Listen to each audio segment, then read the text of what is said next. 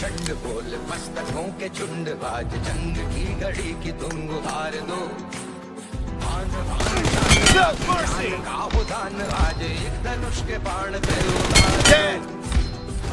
Half of the match is over, the red team is in the lead. Nice shot.